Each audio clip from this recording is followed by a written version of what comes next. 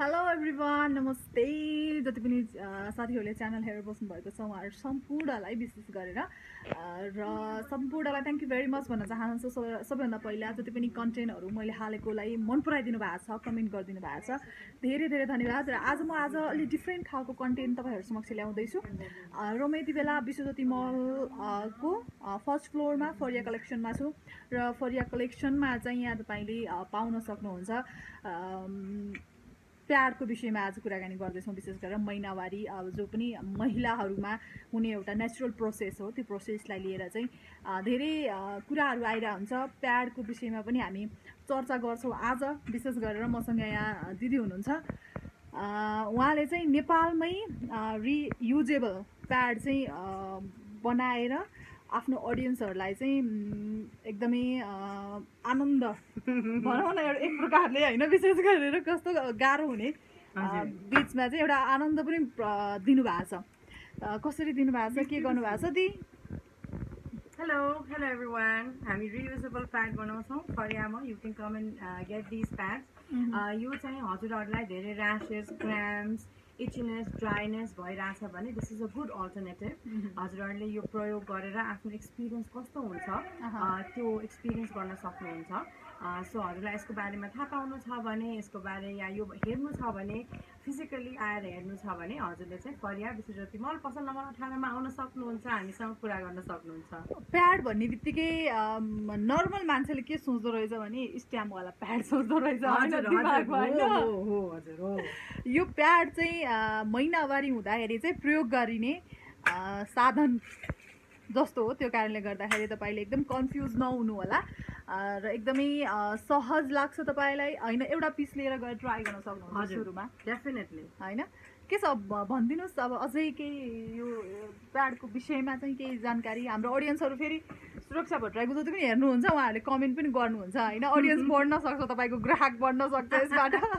होइन हाम्रो यो रियु रियुजेबल प्याड चाहिँ बेसिकली हामीले यस्तो उस सोचेर बनाएको हो कि यो इन्भाइरोमेन्ट फ्रेन्डली पनि होस् यो हजुरहरूको लागि इकोनोमिकली पनि राम्रो होस् र अन टप अफ द्याट यो आफ्नो हेल्थको लागि पनि एकदम राम्रो होस् भनेर चाहिँ यो तिनटै चिजलाई हामीले एकदम ध्यानमा राखेर यो रियुजेबल प्याड बनाएका छौँ होइन? हजुरहरूले चाहिँ यो रियुजेबल प्याड युज गरेर अभियसली आफ्नै छोराछोरीहरूलाई पनि छोरीहरूलाई बेसिकली यसको बारेमा टाइममै सम्झाउनु भयो भने बिकज द जेनेरेसन अब अस उहाँहरूले चाहिँ I I don't think they were very open and उहाँहरूले यसको बारेमा क्लियरली हामीसँग कुरा गर्न सक्नु भएन।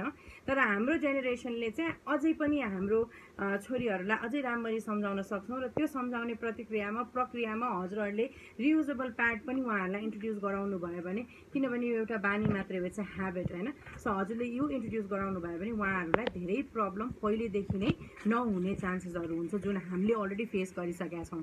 जुन प्रब्लम्स हामीलाई हुन्छ ओभरफ्लो अनि पेन अनि क्राम्स अनि दुख्ने जुन यो सबै प्रब्लम्स हामीलाई हुन्छ।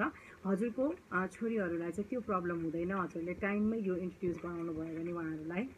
कारणले गर्दाखेरि हेल्थको लागि पनि एकदमै राम्रो भन्ने सुन्नमा आएको छ। अब म पनि प्रयोग गर्दैछु त्यो कारणले गर्दाखेरि फिडब्याक यहाँ कस्तो आउँछ अनि म फेरि आएर यहाँ दिदी मलाई यस्तो भयो भनेर म भन्छु होइन।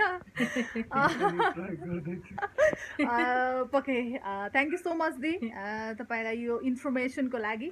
र अडियन्स र अडियन्सलाई पनि thank you very much if तपाईँ भिजिट गर्न चाहनुहुन्छ भने पुरा आउनुहोस् होइन? मलाई त अझ मन परेको यहाँ एउटा गिफ्ट ह्याम्पर पनि रहेछ होइन। इफ तपाईँले यहाँ कसैलाई गिफ्ट दिन चाहनुहुन्छ भने यसरी गिफ्ट बनाएर यो चाहिँ हजुरहरूले आई थिङ्क होइन हजुरहरूले आफ्नो छोरीहरूको गुफा गर्दै हुनुहुन्छ या उहाँहरूको फर्स्ट टाइम पिरियड हुँदैछ भने this is a very very positive approach उहाँहरूलाई. Make them feel like women you know they are becoming women from girls so they should feel like a queen at that time so छ्या छ्या र थुतु भन्दा उहाँहरूलाई यो दिएर त्यो डेलाई चाहिँ सेलिब्रेसन बनाउनु भयो भने that stigma that you know period is not good for us monthly मलाई चाहिँ यो व्यथा हुनेवाला छ भनेर त्यो स्टिगमाबाट चाहिँ हामीले आफ्नो छोरीहरूलाई बचाउन सक्छौँ। पके पनि र गिफ्ट ह्याम्पर पनि यसरी दिँदाखेरि राम्रै होला। भोलिको दिनमा अब सुरक्षाको बिहे भएपछि बच्चा भएपछि म पनि म छोरीलाई definitely okay so thank you very much र जति पनि हाम्रो साथीहरूले चाहिँ भिडियो हेर्नुभयो उहाँहरू सम्पूर्णलाई र भिडियो हेरेर प्रतिक्रिया दिनु होला कस्तो कस्तो खालको कन्टेन्टमा अझ तपाईँले मलाई खोज्नुहुन्छ त्यो कमेन्ट पनि गर्न सक्नुहुन्छ। So thank you so much bye